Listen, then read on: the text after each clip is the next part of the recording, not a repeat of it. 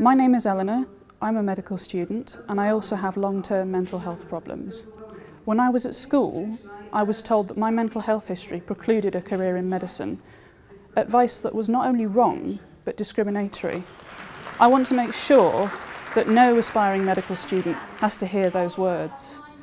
No doctor should be frightened of disclosing their health problems to their supervisors or colleagues, and no doctor should have to tolerate being dictated to regarding their needs and abilities by people who should know better.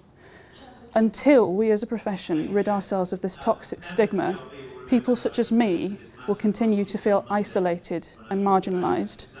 More crucially, if we aren't able to look after our own, how can we expect ourselves to give parity of esteem, parity of esteem to our patients?